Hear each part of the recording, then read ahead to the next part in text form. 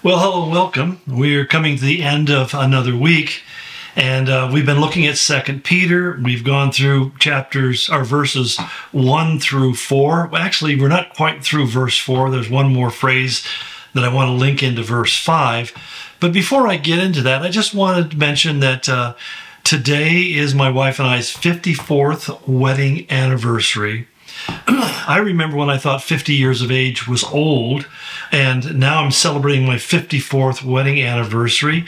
Um, I, I got to tell you, I'm, I'm I'm extremely proud of that accomplishment. You know, you you recognize in this world that most people don't last this long, and most people give up because being married is is difficult because you're not always happily married. There are there are a lot of great times and there are some difficult times and there some journeys and struggles that you go through simply because you're partnering together with another person to go through life and deal with the hardships. It's great to have a partner. It's great to have somebody to share the tears and the fears with when you go through them. Which reminds me of a joke I heard one time of a young man who was in an auto accident and he was uh, seriously injured. And uh, the police officer came up before he tried to get him out of the car and extract him without injuring him further. And he asked the young man, he said, Well, uh, are you married? And the young man said, No, this is the worst trouble I've ever been in. I always thought that was funny because you realize that coming together in a relationship doesn't simplify life. I mean, you think that before you get married because you're thinking of all the things that this person you're married can do for you. And you realize that what you've also taken on is a whole lot of other responsibilities to do things and care for them. And until you really wrap your heart and your mind around that and fully embrace that, you're going to find yourself feeling like you've gotten into some serious trouble here. I think that one of the most wonderful things about being married is that you have somebody who loves you unconditionally. And not and I mean that that they don't just accept you for who you are, but they really value you and they want to be with you and as as uh, I heard a quote one time in Israel, just really connected me. He said, "I like me best when I'm with you." It was written in a little plaque in Hebrew. I like me best when I'm with you. And I think that's the essence of what it means to be in a meaningful relationship with another person. Too many people I know today are what we call married singles.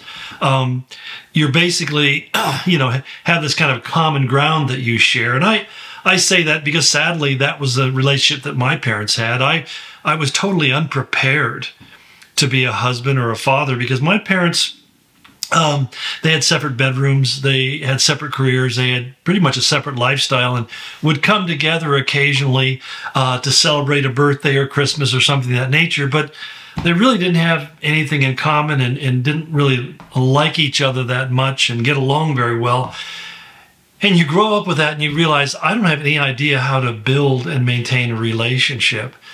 And that's where the real challenge came in. It was to be not just always thinking of yourself and what you wanted and your welfare, but to be able to begin to make those decisions based upon how it's going to affect others, especially those who have to share the car and the journey and the house with you through life.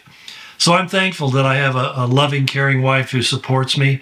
She's also very honest, who she won't lie to me if it's not true. So she tells me the truth about myself, even though I don't want to hear it sometimes. Well, I don't want to hear it most of the time, unless it's flattering.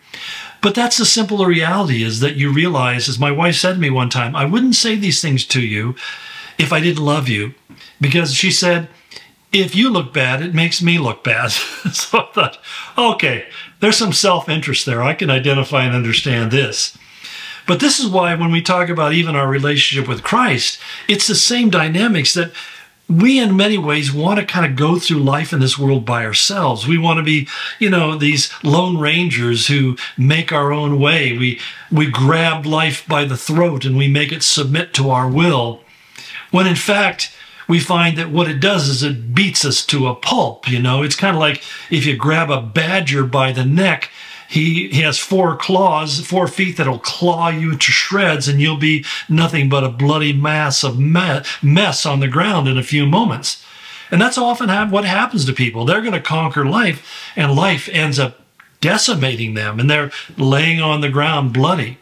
Fortunately, we have a God who recognizes that even though someone may be rejected by men, as was the case with Jesus, Jesus was chosen by God and was precious to him. And because we are in Christ and we are part of his family, we now too are chosen by God and we are precious to him, so that not only does he become a living stone in our lives, but Peter goes on in verse 5 and says, You also become like living stones. Then, all in other words, that not only is God's word written in our hearts with his finger, engraved with his finger, but we begin to become objects that go out and begin to engrave God's word into the hearts and the lives of other people. I think it's important for us to understand uh, because I, I really didn't grasp this when I was a father, when my kids were young, was that I had a tremendous ability to engrave things on my children's heart. And, and to some degree, that's been successful. In some degree, it hasn't been. Uh, you know, and I think that it's important that those of you who are feeling a lot of guilt and shame because you have prodigal children, I find that the number who have prodigal children is is huge today in the church, and part of that is our fault, and part of it is not our fault. But I think at the same time, as one of the as the rabbis used to say, you can blame the first forty years on your parents, but the second forty years on you. One of the things I find is oftentimes people, as adults into their 40s, 50s, 60s, are still blaming their parents for how messed up their life is, which is such a waste of time and energy. And I've often said to them if you can identify where your parents screwed up, and there aren't any parents who haven't screwed up, by the way. But if you can identify where they screwed up, then you have no excuse for continuing to behave in the same way. In other words, you need to stop looking at them and blaming them, and you start need, needing looking at Jesus and learning from him, letting him become the significant other that begins to imprint himself on your heart and your mind. And when you do that, you become a living stone. You, because you are built into, he says, a spiritual house.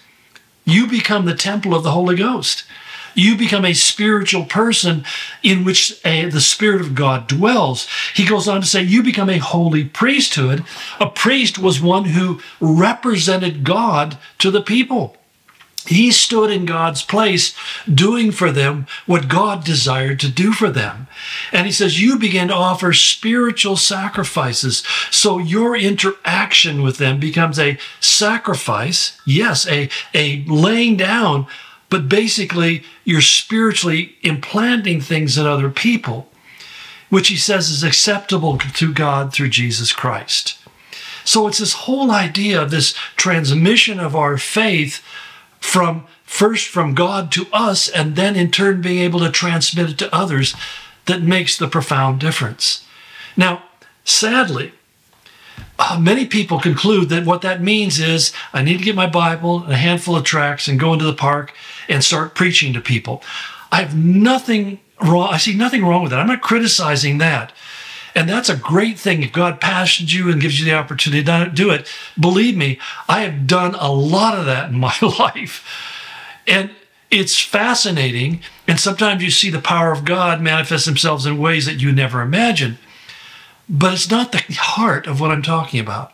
What I'm talking about is that we most powerfully connect with people who are in our own sphere of influence. Someone once said the most powerful place to preach the gospel is across the dinner table.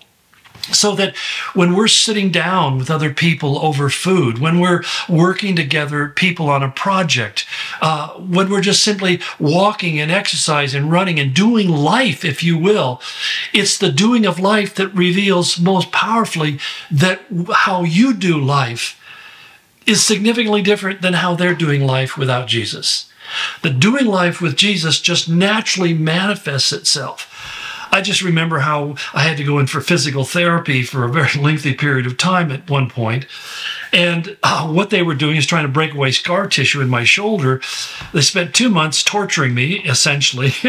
I mean, it was uh, tears would be running down my cheeks, and I don't cry easily. But and uh, the gentleman who was my therapist kept on thanking me because he said, you know, most people get really angry with us because we're causing them so much pain.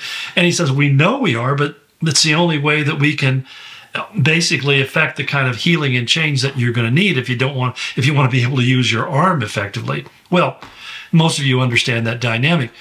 But what was interesting to me is that after a few months of having him work with me three times a week, he said, You know, you're not like what I thought pastors were like. I had no idea what he meant. Other than the fact, he just said, you know, he just really had come to enjoy me and respect me as a person. And we kind of developed this relationship. It was a powerful thing, just simply because I was doing, allowing him to work on me from the perspective that I'm a follower of Jesus. I wasn't trying to preach to him, I was just trying to live out my faith in a normal, natural way. And so I would simply say it's doing life that gives you the most impactful opportunity. And that's why, as I end up here, I say 54 years married. It's amazing. We've had highs and we've had lows, and, and we've had scary times and difficult times and painful times. We've rejoiced together and we've wept together. And we've been depressed together as well as being enraptured together in one another's love. She is my best friend, my closest companion. Never want to do life without her, even though if God tarries, that will probably happen for one of us. But the simple fact of the matter is that the fact that we've been stayed married for 54 years is in itself a statement that it can be done. And it can be done by ordinary people who simply focus on following Jesus and not following their own fleshly desires.